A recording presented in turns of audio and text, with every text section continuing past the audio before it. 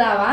Agree Business Focus Season ကနေကြိုဆိုပါရစေ။စိုက်ပျိုးရေးနေ့လည်ရာချစ်သူများရှင်းလန်းချမ်းမြေ့ကြပါစေ။ဒီတစ်ပတ်အတွက်ကျမတို့ရဲ့ Agree Business Focus အစီအစဉ်ကနေလေယာဉ်ကဏ္ဍထူးခြားတဲ့တွေစိုက်ပျိုးရေးနည်းပညာအတွေ့အကြုံမျှဝေမှုတွေနဲ့အတူတစ်ပတ်အတွင်းဈေးကွက်မှာအတက်အကျအပြောင်းလဲဖြစ်ပေါ်ခဲ့တဲ့လေယာဉ်ထွက်ကုန်သီးနှံတွေရဲ့အကြောင်းကိုတင်ဆက်ပေးသွားမှာဖြစ်ပါတယ်။တင်ဆက်ပေးမယ့်ကဏ္ဍတွေကတော့လေယာစီးပွားသတင်းများကဏ္ဍအဂရီဘကဏ္ဍနဲ့လှလှခက်ခက်တင်းနှံဈေးကွက်ကဏ္ဍတွေပဲဖြစ်ပါတယ်။ တောင်ယူတက်ဆက်ပေးမယ့်သူကတော့ကျမရှိဖူးတစ်ဖယ်ဖြစ်ပါတယ်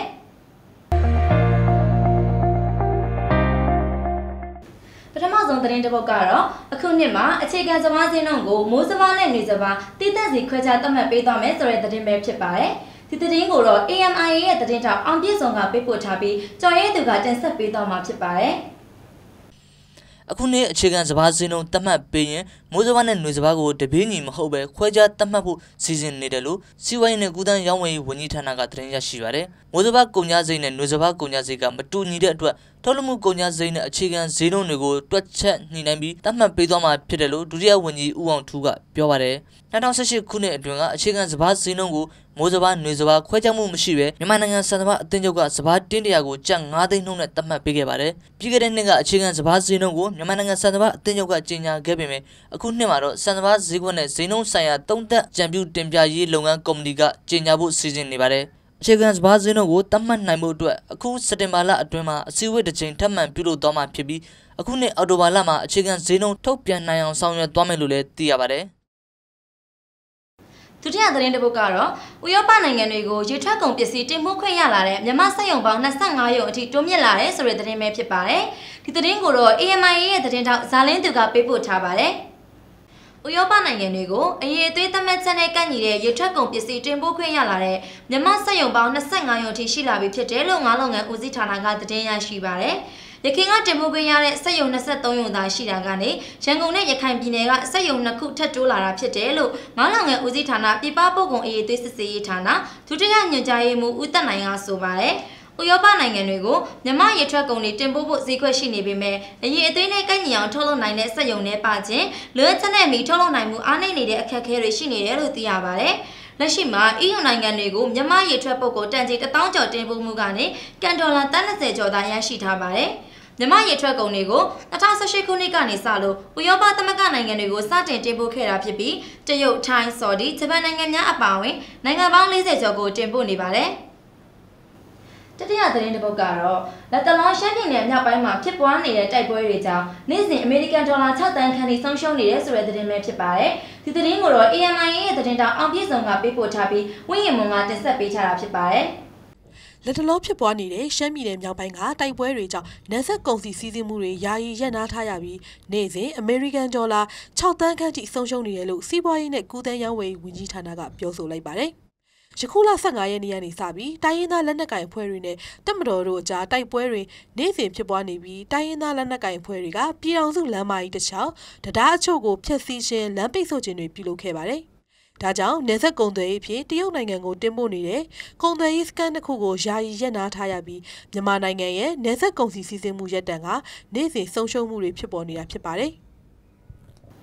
နောက်ဆုံးသတင်းတစ်ပုဒ်ကတော့အမျိုးသားပုဂ္ဂိုလ်မဟာဗျူဟာ2020-2025စီမံကိန်းမှာကဏ္ဍသင်၅မျိုးတို့ကိုတိုးချက်ဆောင်ရွက်သွားမယ်ဆိုတဲ့သတင်းပဲဖြစ်ပါတယ်။ဒီသတင်းကိုတော့ AMI ရဲ့သတင်းထောက်တူတူကပေးပို့ပေးထားပါတယ်။အမျိုးသားပုဂ္ဂိုလ်မဟာဗျူဟာ2020-2025မှာလက်ရှိဦးစားပေးကဏ္ဍ17ခုအပြင်ကဏ္ဍအသစ်5မျိုးတို့ကိုတိုးချဲ့ဆောင်ရွက်သွားမယ်လို့စီးပွားရေးနဲ့ကုသန်းရောင်းဝယ်ရေးဝန်ကြီးဌာနကသတင်းရရှိပါတယ်။ ထတိုးမဲ့ကဏ္ဍသစ်တွေထဲမှာကျောင်းရည်ရတနာ၊လက်ဝတ်ရတနာ၊ဒစ်ဂျစ်တယ်စီးပွားရေးလုပ်ငန်း၊တတိဝန္ဒနဲ့လက်မှုပညာပစ္စည်းထုတ်လုပ်မှုကဏ္ဍတွေကိုတိုးချဲ့ဆောင်ရွက်သွားမှာဖြစ်တယ်လို့သိရပါတယ်။လေယာထွက်ကုန်သီးနှံတွေပြည်ပဈေးကွက်မပြတ်ရေးနဲ့ပတ်သက်ပြီးစံတင်ပို့မှုမှာဖိလစ်ပိုင်၊မိုဇမ်ဘစ်နဲ့တရုတ်နိုင်ငံတို့ကို၎င်းပဲထီစိမ်းကိုတရုတ်နဲ့ဗီယက်နမ်တွေကိုတင်ပို့ခွင့်ထပ်မံရရှိထားတယ်လို့သိရပါတယ်။ မြန်မာနိုင်ငံအနေနဲ့ပို့ကုန်မြင့်တင်ရေးအတွက်ဈေးကွက်တစ်တွေရှာဖွေပြီးအလားအလာရှိတဲ့ပို့ကုန်တွေကိုတိုးချက်ကြိုးပမ်းထုတ်လုပ်ရမှာဖြစ်ပြီးစိုက်ပျိုးထုတ်လုပ်တဲ့လုပ်ငန်းရှင်တွေကိုအားပေးကူညီသွားရမှာဖြစ်တယ်လို့မြန်မာနိုင်ငံကုန်သည်များနှင့်စက်မှုလက်မှုလုပ်ငန်းရှင်များအသင်းချုပ်ဥက္ကဋ္ဌဦးဆောင်မင်းဝင်းကပြောပါတယ်။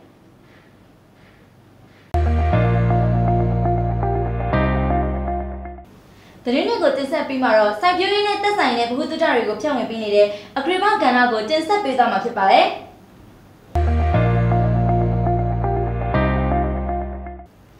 ဒီဒီတစ်ပတ်မှာတော့စက်သားပေါက်လေးတွေကိုဘယ်လိုစနစ်တကျထိမ့်သိမ်းဆောက်ရှောက်ရမလဲဆိုတာနဲ့ပတ်သက်ပြီးဒုတိယပိုင်းကိုတင်ဆက်ပေးသွားမှာဖြစ်ပါတယ်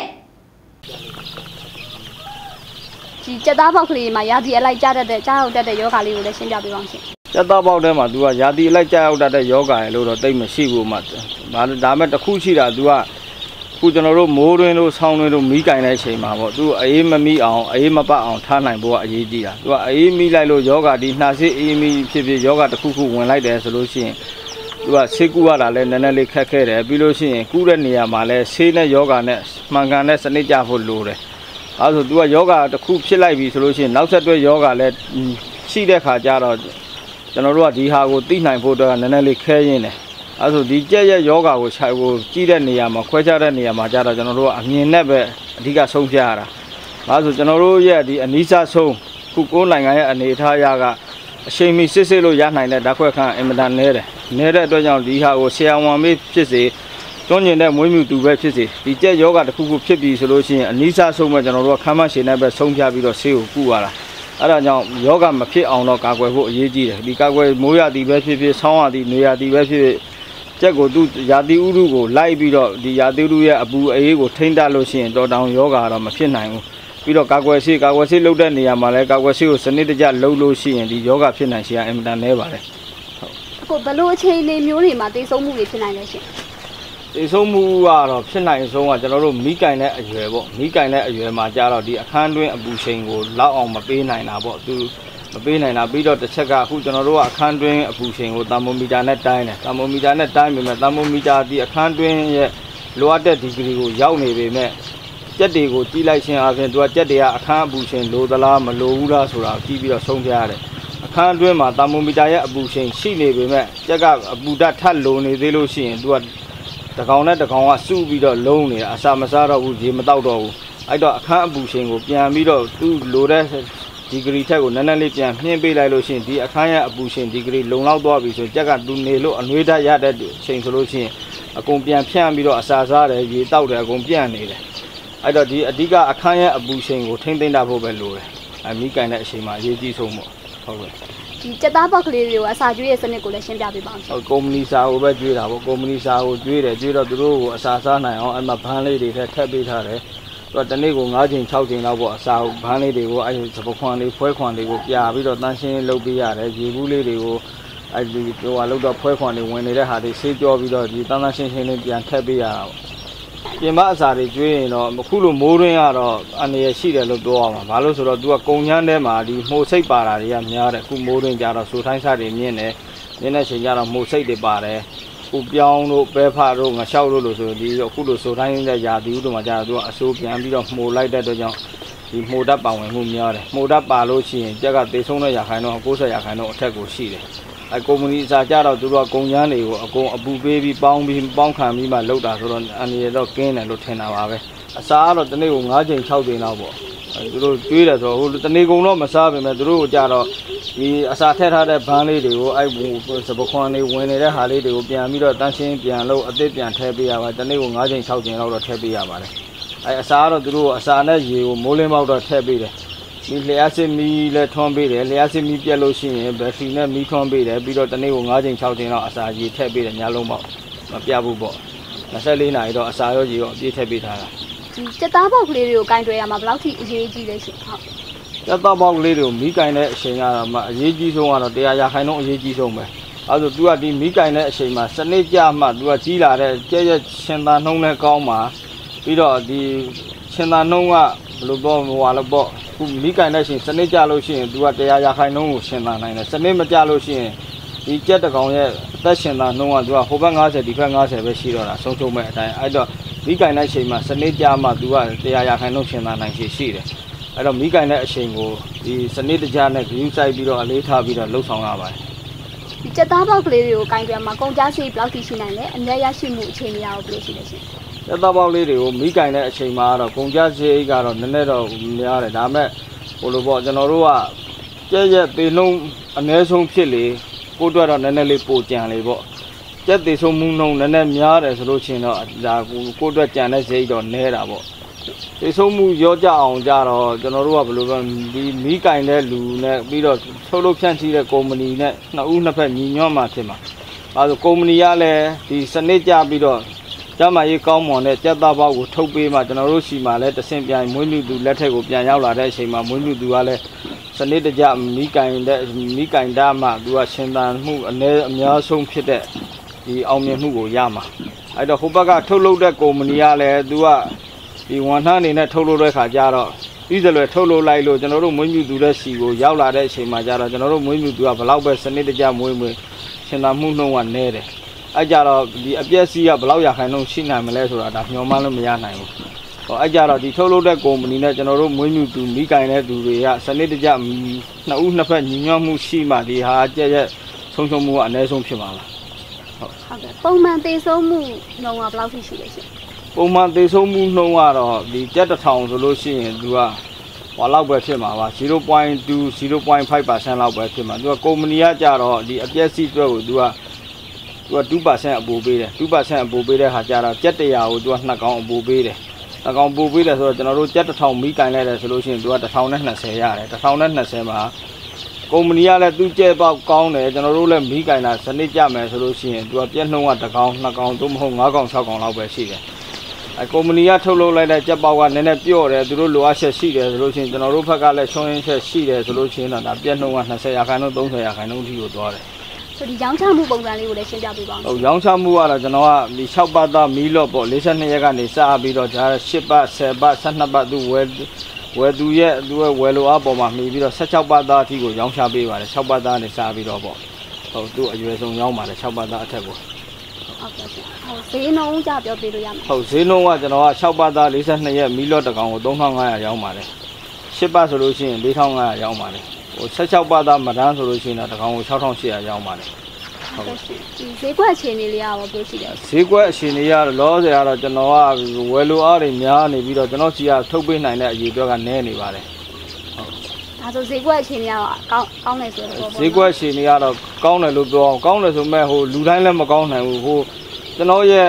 ဘယ်လိုပြောမှာကျွန်တော်ကိုယုံကြည်အားကိုးပြီးတော့ဝယ်ကြတဲ့သူတွေရှိတဲ့အတွက်ကြောင့်ကျွန်တော်ရဲ့ဈေးကွက်ကောင်းနေတာပါဒီမတန်းရောင်းတဲ့ဈေးကွက်ကလူတိုင်းလည်းရောင်းလို့မကောင်းနိုင်ပါဘူး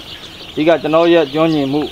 ယုံကြည်မှုနဲ့ဝယ်ယူနေကြတဲ့အတွက်ကြောင့်ကျွန်တော်ကရောင်းအောင်ကောင်းနေတာပါ ပြည်တွင်းကကြီးစက်သားပေါက်ဈေးကွက်အခြေအနေလေးကိုလည်းသုံးသပ်ပေးပါဦးရှင်ဟုတ်ကဲ့ပြည်တွင်းကြက်သားပေါက်ကတော့ပုံမှန်တော့ထွက်နှုန်းရှိပါတယ်အဲပုံမှန်ထွက်နှုန်းရှိပေမဲ့သူတို့ကဈေးကွက်အနေထားကိုလိုက်ပြီးတော့ဒီကြက်ပေါက်ရဲ့ဈေးနှုန်းကိုနှိမ့်လိုက်မြင့်လိုက်တွေလုံနေအခုချိန်ကတော့ကြက်ပေါက်ရဲ့ဈေးနှုန်းကအမြင့်ဆုံးအချိန်ကိုရောက်နေပါတယ်ဈေးတအားတက်နေတယ်ဟုတ်ကြက်ပေါက်တစ်ကောင်ရဲ့တန်ဖိုးကသူက1100ကနေ1300 1400အထိရှိနေပါတယ်အရင်က900 600တွေကစပြီးတက်တာပါ 900 600 900 800နဲ့ခုတဖြည်းဖြည်းချင်းတက်လာလိုက်တာ1100နဲ့1400ကြားထဲရောက်နေပါတယ်။ကြံပြီးလောက်ကလေးကစတက်တာပေါ့။ဒီ3လေးလလောက်အတွင်းမှာနောက်လျှောက်ထပ်တက်လာတာဘာအကြောင်းတက်တယ်လို့ဘယ်လိုတည်ထားလဲ။ဘာကြောင့်တက်လဲဆိုတော့ဟိုကျွန်တော်တို့ထင်တာကတော့ဒီဝယ်လိုအားများနေတာပေါ့။ဈေးကွက်ထက်မှာမွေးမြူတဲ့သူများတယ်။များတဲ့ခါကျတော့ကုမ္ပဏီတွေကစက်ပေါက်တွေရောင်းကောင်းတော့အော်ဒါတွေများနေတဲ့ခါကျတော့သူတို့ကဈေးမြင့်ပြီးတော့ရောင်းကြတာ။ ဈေးမြင့်တဲ့နေရာမှာလဲကျွန်တော်ရဲ့အမြင်အရပြောရရင်တော့ကုမ္ပဏီတွေကကိုယ်ဈေးနဲ့ကိုယ်မရောင်းကြဘဲနဲ့တုံးနဲ့ကုမ္ပဏီတွေအချင်းချင်းဈေးညှိပြီးတော့သူတင်ကိုတင်တင်တင်ညှိပြီးတော့တင်ရောင်းနေတဲ့သဘောဖြစ်နေတယ်ကျွန်တော်အမြင်ပြောပြတာပါဟုတ်ကဲ့ဒီဒီစက်သားပေါက်ဝေးလူတဲ့သူတွေရဲ့လက်ရှိအခက်အခဲတွေကဘာတွေဖြစ်မလဲရှင်သက်သက်ပေါက်မွေးမြူတဲ့အခက်အခဲကတော့အဲအစာဈေးကတော့ပြီးခဲ့တဲ့နှစ်ကဈေးထက်ပုံမှန်ပါပဲဒီနေ့ကတော့အစာဈေးကမတက်ဘူးတက်သားပေါက်ဈေးတက်တယ် တက်သားပေါက်ဈေးတက်ပြီးတော့လိုချင်တဲ့အချိန်တက်သားပေါက်ဝယ်လို့မရနိုင်တဲ့အခက်အခဲပါဟုတ်တယ်ဒီရ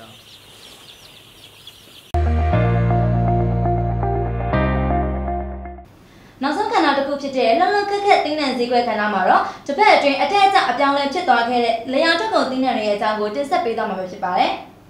။ဩဂုတ်လ28ရက်နေ့ကနေစက်တင်ဘာလ3ရက်နေ့ထိပြောင်းလဲသွားတဲ့တည်နေစည်းလုံးတွေကိုတင်ဆက်ပေးသွားမှာဖြစ်ပါတယ်။ ကလဘဲကတော့ဒီတစ်ပတ်မှာဈေးကအကျဆင်းသွားပါတယ်။ကလဘဲတွေဈေးကွက်ထဲကိုအဝင်မရှိတော့သလိုအယောင်းဝယ်ကလည်းအေးသွားတဲ့အတွက်ဈေးကအကျဆင်းသွားခဲ့တာလည်းဖြစ်ပါတယ်။ရန်ကုန်ပြည်နယ်ကုန်စည်တိုင်းမှာတော့ကလဘဲဖြူလုံးကတပိတ်သားကို1315ကျပ်ကနေ1385ကျပ်ပေါက်ဈေးရှိပြီး65ကျပ်ဈေးကျဆင်းသွားပါတယ်။အာလူကတော့ဒီတစ်ပတ်မှာဈေးတက်လာခဲ့ပါတယ်။ဈေးကွက်အတွင်းအဝယ်တက်လာပြီးအဝင်နဲလာတဲ့အတွက်ဈေးကတက်လာခဲ့တာလည်းဖြစ်ပါတယ်